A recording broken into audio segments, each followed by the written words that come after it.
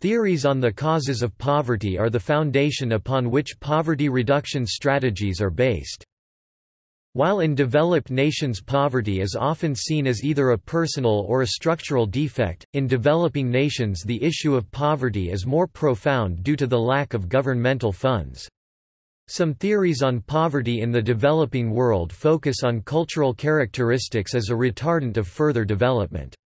Other theories focus on social and political aspects that perpetuate poverty. Perceptions of the poor have a significant impact on the design and execution of programs to alleviate poverty.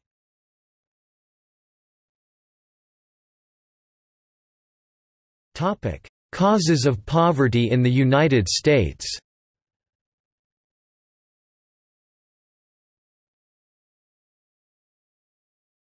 Topic: Poverty as a personal failing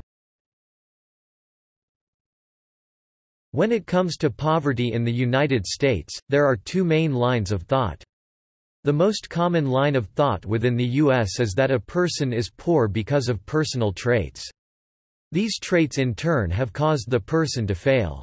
Supposed traits range from personality characteristics, such as laziness, to educational levels. Despite this range, it is always viewed as the individual's personal failure not to climb out of poverty. This thought pattern stems from the idea of meritocracy and its entrenchment within U.S. thought. Meritocracy, according to Katherine S. Newman is the view that those who are worthy are rewarded and those who fail to reap rewards must also lack self-worth. This does not mean that all followers of meritocracy believe that a person in poverty deserves their low standard of living. Rather the underlying ideas of personal failure show in the resistance to social and economic programs such as welfare. A poor individual's lack of prosperity shows a personal failing and should not be compensated or justified by the state. Topic poverty as a structural failing Rank, Yoon, and Hirschl 2003 present a contrary argument to the idea that personal failings are the cause of poverty. The argument presented is that United States poverty is result of failings at the structural level, key social and economic structural failings which contribute heavily to poverty within the U.S. are identified in the article. The first is a failure of the job market to provide a proper amount of jobs which pay enough to keep families out of poverty. Even if unemployment is low, the labor market may be saturated with low-paying, part-time work that lacks benefits thus limiting the amount of full-time, good-paying jobs. Rank, Yoon and Hirschl examined the Survey of Income and Program Participation a longitudinal study on employment and income.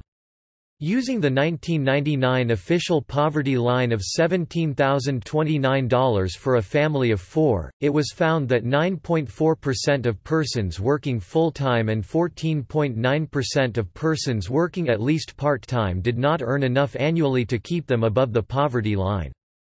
One study showed that 29% of families in the United States could go six months or longer during a hardship with no income. Over 50% of respondents said around two months with no income and another 20% said they could not go longer than two weeks. Low minimum wage, combined with part-time jobs which offer no benefits, have contributed to the labor market's inability to produce enough jobs which can keep a family out of poverty as an example of an economic structural failure. Rank, Yoon and Hirschl point to the minimal amount of social safety nets found within the U.S. as a social structural failure and a major contributor to poverty in the U.S. Other industrialized nations devote more resources to assisting the poor than the U.S. as a result of this difference poverty is reduced in nations which devote more to poverty reduction measure and programs. Rank et al. use a table to drive this point home. The table shows that in 1994, the actual rate of poverty what the rate would be without government interventions in the U.S. was 29%. When compared to actual rates in Canada 29%, Finland 33%, France 39%, Germany 29%, the Netherlands 30%, Norway 27%, Sweden 36% and the United Kingdom 38%. The United States rate is low. But when government measures and programs are included, the rate of reduction in poverty in the United States is low 38%. Canada and the United Kingdom had the lowest reduction rates outside of the US at 66%, while Sweden, Finland and Norway had reduction rates greater than 80% all percentages taken from Rank, Yoon and Hirschl 2003, p. 17.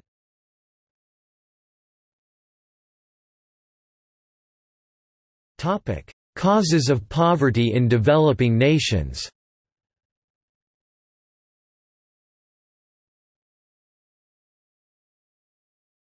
Topic: Poverty as cultural characteristics. Development plays a central role to poverty reduction in third world countries. Some authors feel that the national mindset itself plays a role in the ability for a country to develop and to thus reduce poverty. Mariano Grondona 2000 outlines 20 cultural factors which, depending on the culture's view of each, can be indicators as to whether the cultural environment is favorable or resistant to development.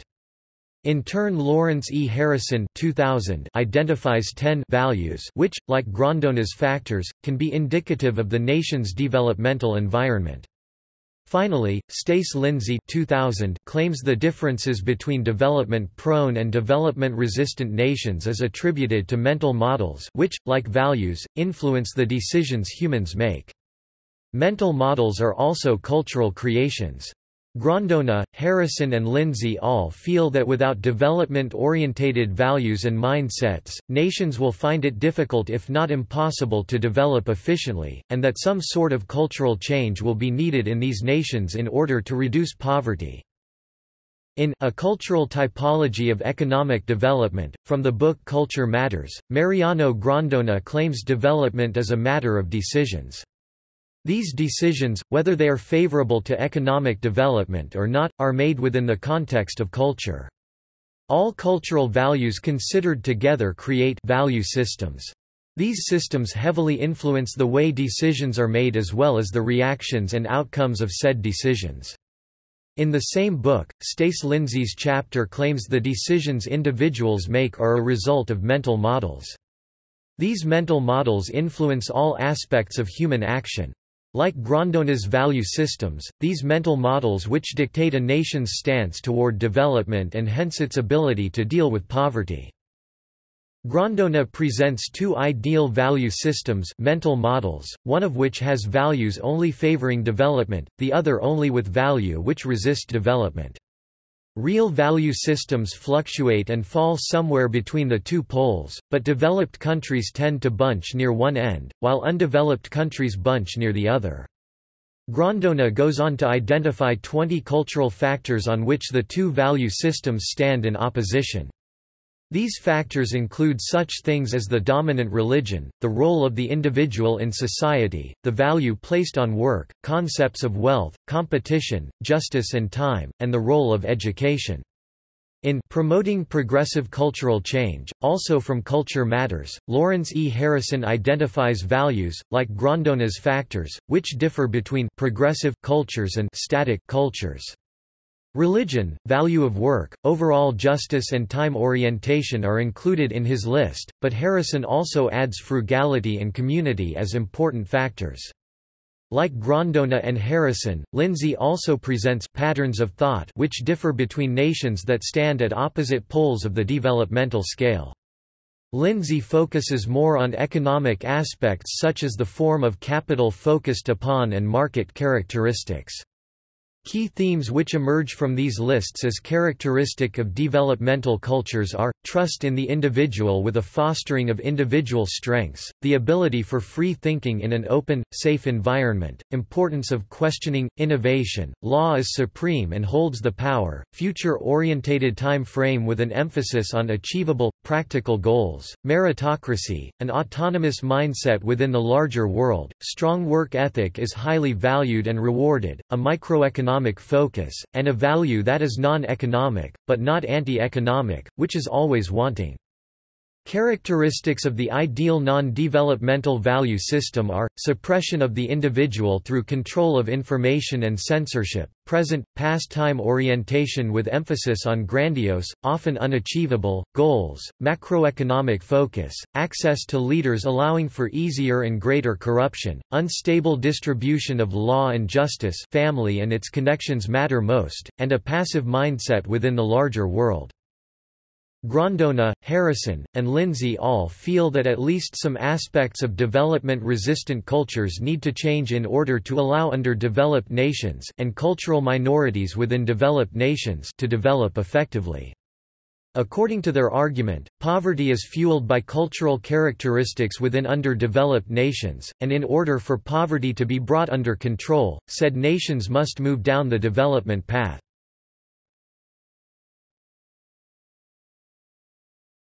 Topic: Poverty as a label. Various theorists believe the way poverty is approached, defined, and thus thought about, plays a role in its perpetuation.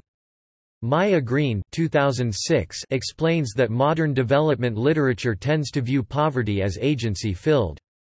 When poverty is prescribed agency, poverty becomes something that happens to people. Poverty absorbs people into itself and the people, in turn, become a part of poverty, devoid of their human characteristics. In the same way, poverty, according to Green, is viewed as an object in which all social relations and persons involved are obscured. Issues such as structural failings see earlier section, institutionalized inequalities, or corruption may lie at the heart of a region's poverty, but these are obscured by broad statements about poverty. Arjun Appadurai writes of the terms of recognition drawn from Charles Taylor's points of recognition, which are given the poor are what allows poverty to take on this generalized autonomous form. The terms are given to the poor because the poor lack social and economic capital, and thus have little to no influence on how they are represented and or perceived in the larger community. Furthermore, the term poverty is often used in a generalized matter. This further removes the poor from defining their situation as the broadness of the term covers differences in histories and causes of local inequalities. Solutions or plans for reduction of poverty often fail precisely because the context of a region's poverty is removed and local conditions are not considered. The specific ways in which the poor and poverty are recognized frame them in a negative light. In development literature, poverty becomes something to be eradicated, or, attacked. It is always portrayed as a singular problem to be fixed. When a negative view of poverty as an animate object is fostered, it can often lead to an extension of negativity to those who are experiencing it. This in turn can lead to justification of inequalities through the idea of the deserving poor. Even if thought patterns do not go as far as justification, the negative light poverty is viewed in, according to Appadurai, does much to ensure little change in the policies of redistribution.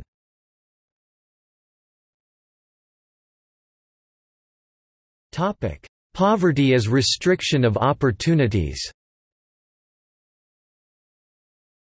The environment of poverty is one marked with unstable conditions and a lack of capital both social and economical which together create the vulnerability characteristic of poverty.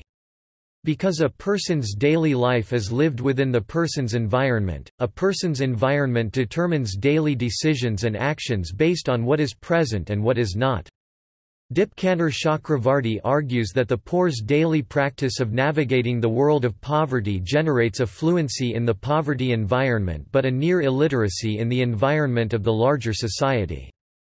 Thus, when a poor person enters into transactions and interactions with the social norm, that person's understanding of it is limited, and thus decisions revert to decisions most effective in the poverty environment. Through this a sort of cycle is born in which the dimensions of poverty are not merely additive, but are interacting and reinforcing in nature. According to Arjun Appadurai 2004, the key to the environment of poverty, which causes the poor to enter into this cycle, is the poor's lack of capacities. Appadurai's idea of capacity relates to Albert Hirschman's ideas of voice and exit which are ways in which people can decline aspects of their environment, to voice displeasure and aim for change or to leave said aspect of environment. Thus, a person in poverty lacks adequate voice and exit capacities with which they can change their position. Appadurai specifically deals with the capacity to aspire and its role in the continuation of poverty and its environment. Aspirations are formed through social life and its interactions. Thus, it can be said, that one's aspirations are influenced by one's environment. Appadurai claims that the better off one is, the more chances one has to not only reach aspirations but to also see the pathways which lead to the fulfillment of aspirations. By actively practicing the use of their capacity of aspiration the elite not only expand their aspiration horizon but also solidify their ability to reach aspirations by learning the easiest and most efficient paths through said practice. On the other hand, the poor's horizon of aspiration is much closer and less steady than that of the elite. Thus, the capacity to aspire requires practice, and, as Chakravarti argues, when a capacity or decision-making process is not refined through practice it falters and often fails. The unstable life of poverty often limits the poor's aspiration levels to those of necessity such as having food to feed one's family and in turn reinforces the lowered aspiration levels someone who is busy studying, instead of looking for ways to get enough food, will not survive long in the poverty environment. Because the capacity to aspire or lack thereof reinforces and perpetuates the cycle of poverty, Appadurai claims that expanding the poor's aspiration horizon will help the poor to find both voice and exit. Ways of doing this include changing the terms of recognition see previous section and or creating programs which provide the poor with an arena in which to practice capacities. An example of one such arena may be a housing development built for the poor, by the poor. Through this, the poor are able to not only show their abilities but to also gain practice dealing with governmental agencies and society at large. Through collaborative projects, the poor are able to expand their aspiration level above and beyond tomorrow's meal to the cultivation of skills and the entrance into the larger market.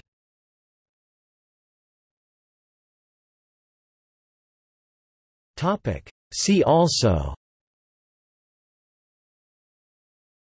The factors causing poverty and suffering